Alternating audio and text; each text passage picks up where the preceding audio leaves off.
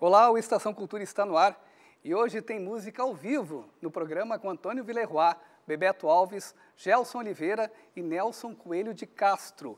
Eles apresentam o show juntos, o Borogodó dos Cafundó, amanhã aqui em Porto Alegre. Você também confere uma reportagem sobre o projeto Samba no Ar. Aqui no estúdio, a gente conversa com o escritor Henrique Schneider, que lança um novo livro nesta semana.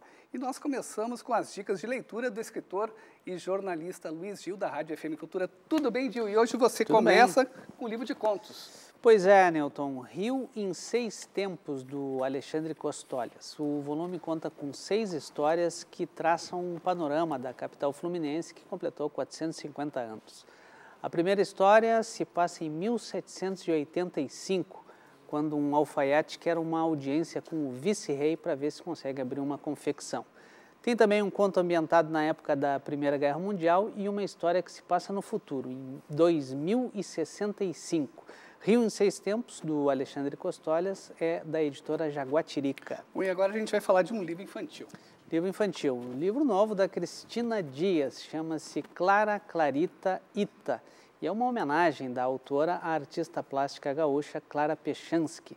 O livro se detém na infância da artista e mostra como as descobertas do cotidiano a influenciaram.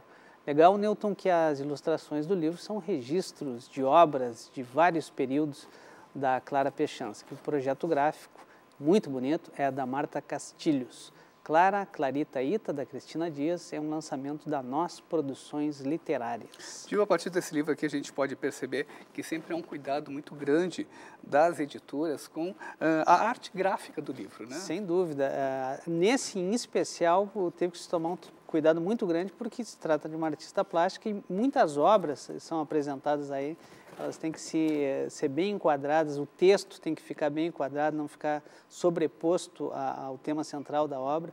Então, realmente, é, é um cuidado que se tomou e ficou um livro bem bacana. Tio, e no sábado tem o programa Tons e Letras na Rádio FM Cultura, com a tua condução. O que está preparado para este sábado? Exatamente. É, a gente tem algumas entrevistas, a gente está decidindo ainda, né? É, mas tem, tem muita coisa, tem muita dica de, já posso adiantar, algumas oficinas literárias e também concursos literários, né? Tem muita gente que está escrevendo aí, não sabe para onde mandar seu, seus textos. Alguns concursos literários a gente vai falar no próximo sábado, a partir das 11 da manhã. Legal, dia daqui a pouco a gente tem mais uma entrevista sobre literatura aqui no programa, que nós vamos falar da obra Respeitável Público, do Henrique Schneider. E na quinta-feira, os músicos cariocas do Samba Noir apresentaram seu primeiro disco Sambatal aqui em Porto Alegre. Nossa reportagem conversou com o percussionista Marcos Suzano e também com a cantora Kátia B. Confira.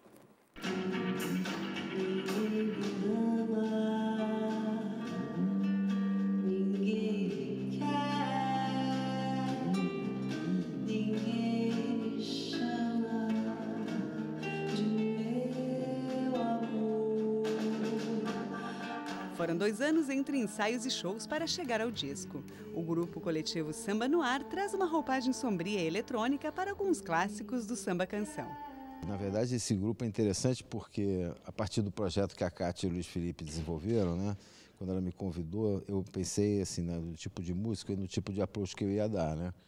E eu gosto de trabalhar esses sons assim mais é, processados e tudo mais, né, usar bastante coisa eletrônica, mas que eu gravo e fico trabalhando, né?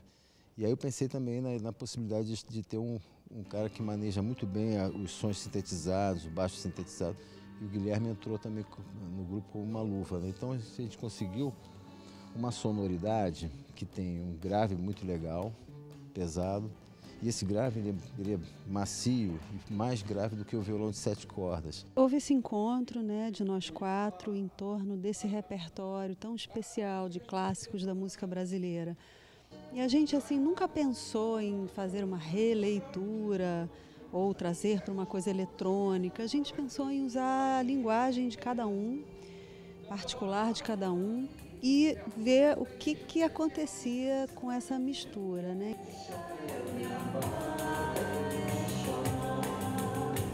No show, projeções de imagens e videografia em tecidos e fumaça se encarregam de dar o clima. Quando os convidados, nossos convidados participam, né, o Egberto, o Arthur Lindsay, o, o Malta e o Jardim Macalé, eles participam também em projeções. Né? Então a gente toca com eles projetados, tocando as músicas e cantando as músicas que eles participam no disco. É tudo sincado, é um, é um sistema de mapping, que a gente chama de mapping, né?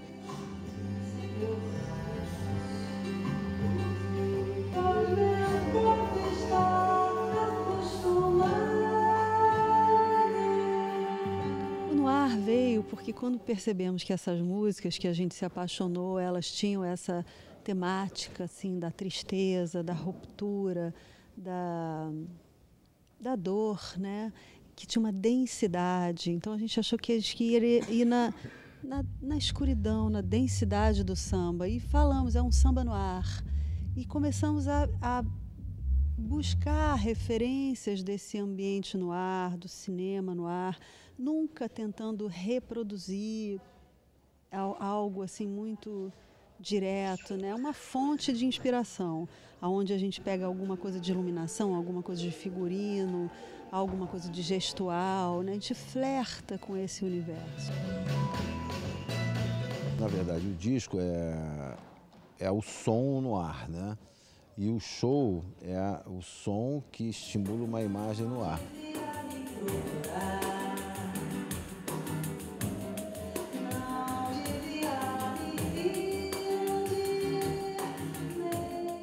Nós seguimos com literatura. O livro Respeitável Público, do escritor Henrique Schneider, vai ser lançado na quarta-feira aqui em Porto Alegre.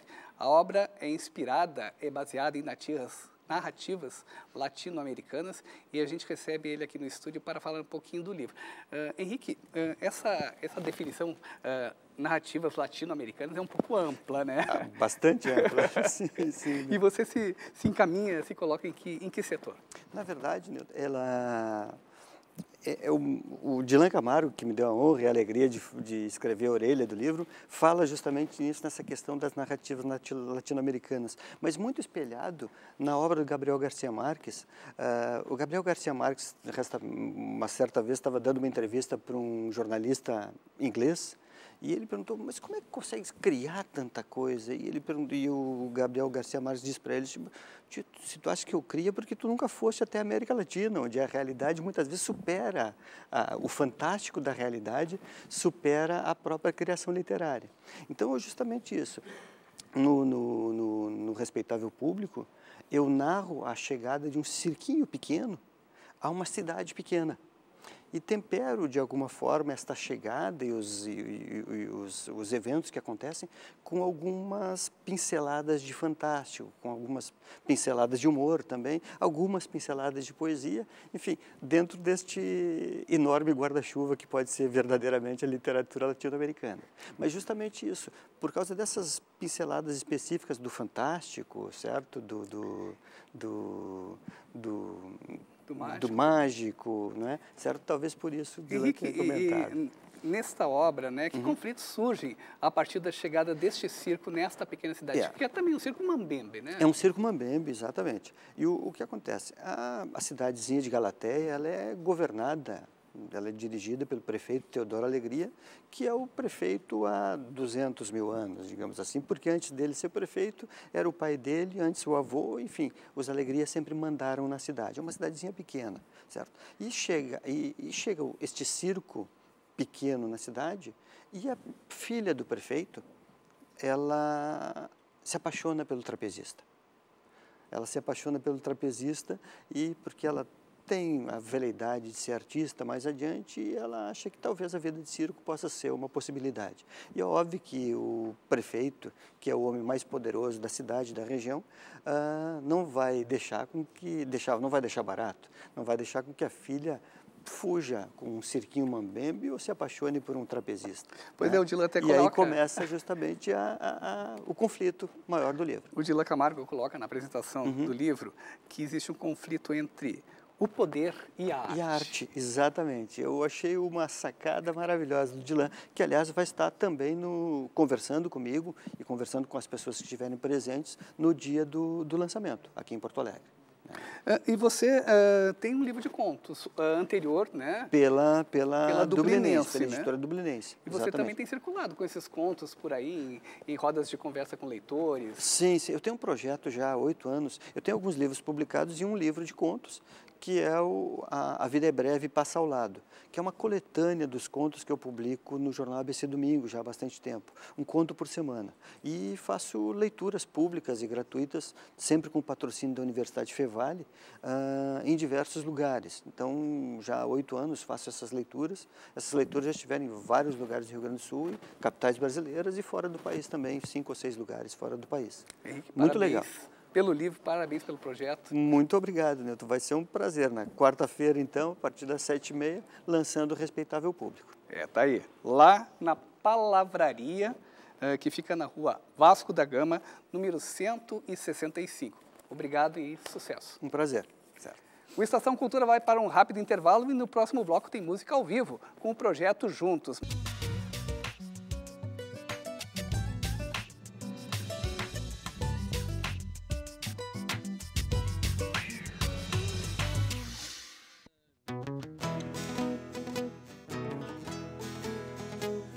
In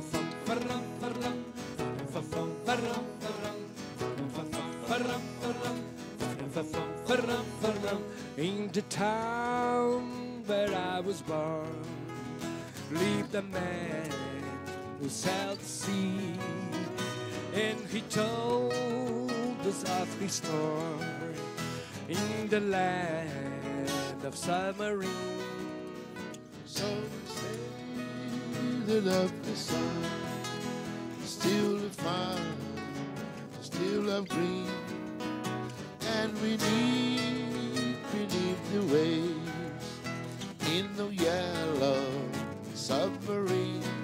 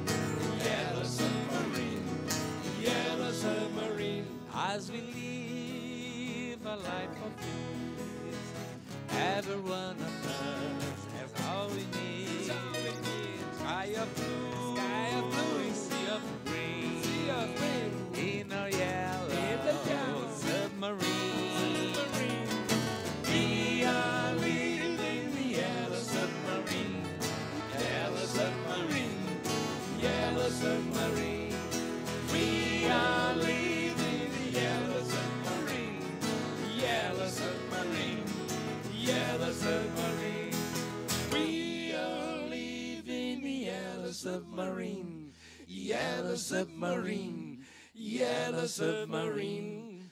We are leaving the yellow submarine, yellow submarine, yellow submarine. We are leaving the yellow submarine, yellow submarine,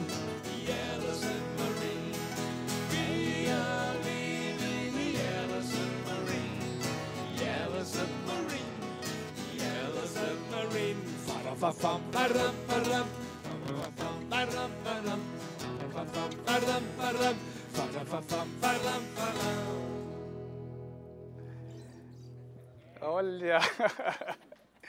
Hoje o nosso som ao vivo é com os músicos Antônio Villeroy, Bebeto Alves, Gelson Oliveira e Nelson Coelho de Castro. Eles apresentam em Porto Alegre o show juntos, o Borogodó dos Cafundó. O projeto começou no ano de 97 e o primeiro disco do quarteto saiu no ano seguinte, em 98. Agora, o grupo está organizando a gravação do terceiro álbum e do primeiro DVD, uma trajetória de muito tempo, né, pessoal? Estamos chegando a 18 anos, chegando à maioridade do projeto, né? de 87 para 2005 são 18 anos. E agora, esse, essa nova etapa do projeto, vocês já eh, tiveram circulando, né? Passaram por, fizeram um show no Rio de Janeiro, como é que foi por lá? Essa semana a gente fez lá, né? semana passada, fizemos lá no Rio. Mas o projeto começa em janeiro desse ano, em, no Sgt. Peppers. Fizemos uma temporada imensa lá de público, foi fantástico.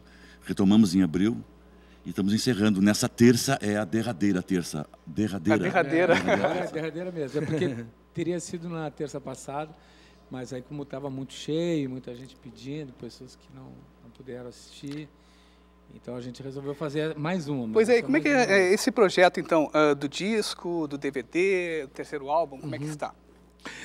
É, eu acho que a gente está vendo todas as possibilidades para a gente gravar das melhores condições que a gente planeja. Né? Então, tem várias pessoas que estão é, ajudando a configurar esse projeto. Né? A gente não tem assim ah, nada eh, objetivamente concreto em relação ao projeto em si. O que a gente sabe é que é necessário eh, uma estrutura bastante grande para o que a gente pretende fazer. Então, a gente está tentando viabilizar isso, né? com, com recursos, grana e tal. É, é grana, né? Mas vai rolar um crowdfunding. Ah, um crowdfunding, isso é legal, né? Uma, são as Então, novas mas formas aí impor- de- São várias, várias, várias possibilidades que a gente tem hoje. Né? Uma delas é o crowdfunding, que a gente está acertando, está achando que é o melhor caminho. Falar de repertório, né? Vocês apresentaram agora uma versão dos Beatles aqui, né? Como é que, que, que surge esse repertório da nova etapa do projeto? Quero falar do buraco da minhoca aí. Em síntese, todos os espetáculos que começaram em janeiro, em abril agora, são, servem como um laboratório para- exatamente para experimentar essas canções, essas, essas, essas novidades que a gente vai ter que apresentar de alguma forma. E esses espetáculos servem para isso. A gente vem fazendo um, um- um- de cada espetáculo uma, uma forma de que a E plateia... é legal essa história tenha de, de, de testar junto com uma- é, o público. é uma obra em né? aberto, assim, uma obra em progresso. Era era uma coisa que se fazia muito antigamente, né? A gente, eu me lembro assim que a gente fazia ah, no Rio Grande do Sul, Porto Alegre, na década de 70 para 80, não tinha muito um mercado fonográfico como se estabeleceu logo a seguir. Então a gente fazia muitos shows, trabalhava muito o lance do show, de como é que funcionava isso no palco, como é que funcionava com o público, a reação do público. Na medida em que essas coisas foram se eh, configurando, então foi gravando, a gente foi registrando esse material, né? Mas eh, o palco é fundamental para isso. É, a gente tem uma coisa que o primeiro disco já foi ao vivo, né? Então, só que assim, como agora é o primeiro DVD, é inevitável que a gente volte a visitar algumas músicas já que já foram consagradas anteriormente. É, embora assim vai ter uma coincidência de- entre os repertórios do primeiro e desse, é inevitável que a gente coloque, talvez assim como o CD é um produto menor que não cabe em todas as músicas, a gente priorize colocar no CD as músicas novas. Legal. né? E no DVD. Agora, uma coisa importante, que o Bebeto, ele, quando ele foi explicar da- da- do negócio do DVD, ele ficou meio sem graça porque a gente recebeu vários convites. Ele, não, ele, ele ia falar, depois ele viu que ele não podia. É, não tem, Aí- imagina, não pode abrir, né? não pode abrir, então tem convite, tem coisa Né, assim. pessoal? Não, porque parece que a gente estava assim, todo despreparado, que não tem nada na mão. Não, ao contrário, a gente já tinha uma coisa na mão outra. Existe alguma co- uma, coisa muito séria acontecendo. Olha só. É, que é bem muito legal, sério, Ele não que é- quis falar, que é um ele grande lance muito bonito. Não, Sardinha, não é, não é bem assim. Próxima canção, Vim Vadiar, uma composição do Nelson isso? Coelho de Castro. É isso? Não. Não, vamos, vamos Mudou o roteiro, então. Vamos lá, Então, qual é a vamos- próxima? A gente vai tocar Podia uma ser. versão que a gente fez de uma música Ah, tá. dos Gees, Ah, que chama-se... A, a música dos Gees chama-se Massachusetts. Então vamos lá. E a gente vai fazer essa versão que chama-se Rio Grande. Opa.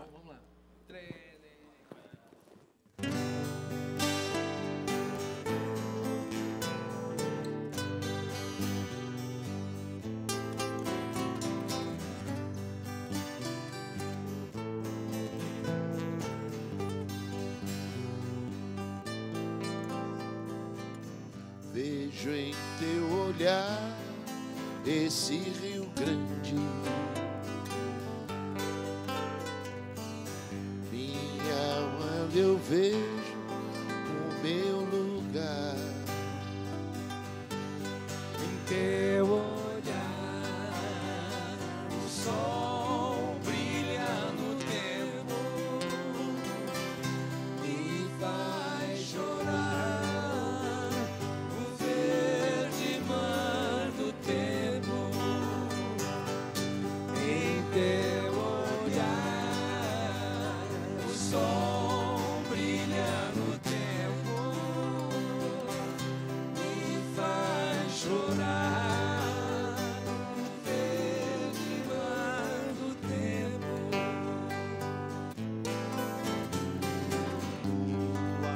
faz ventos, mil lugares.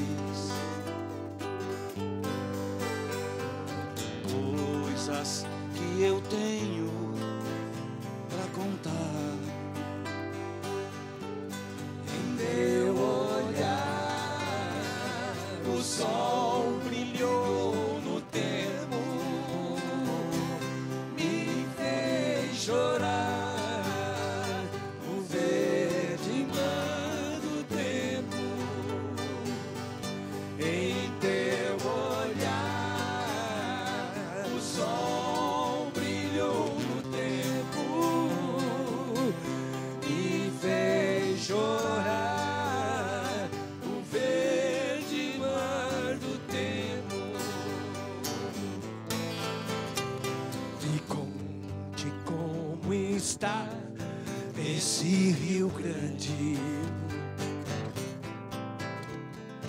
Os meus amigos, o entardecer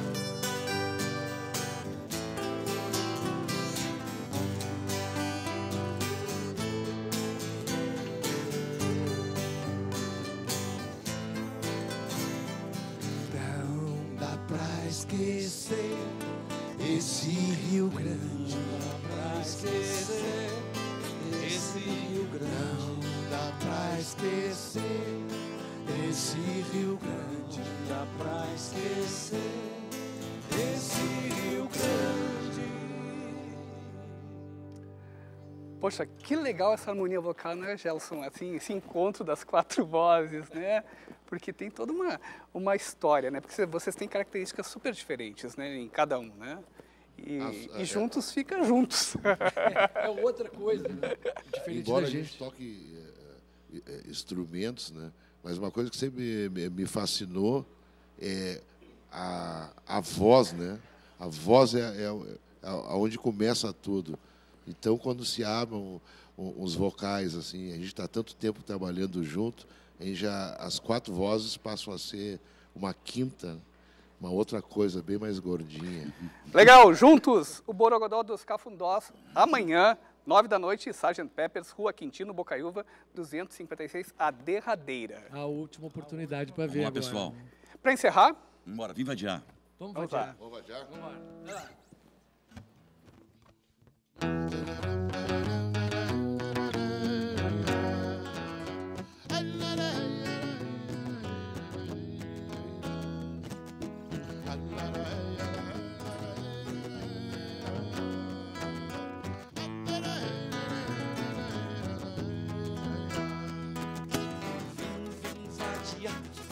Vadia, vadia meu Deus, eu vim. Vim, vim vadia, vadia, vadia meu Deus. Vim, vim vadia, vim vadia, vadia meu Deus, eu vim. Vim, vim vadia, vim vadia, vadia meu Deus. Bonito é ter um caminho, bonito é ter um amor. Bonito é ter um amigo, ter muito amigo para o bolô. Esquina valia bonita, vadiava o meu coração. A gente ficava na esquina, a vida infinita, cuspia no chão. Depois, depois, aquela coisinha é o samba batida do som. Malandro de cada neguinho, de cada neguinho, tribom. Tribom,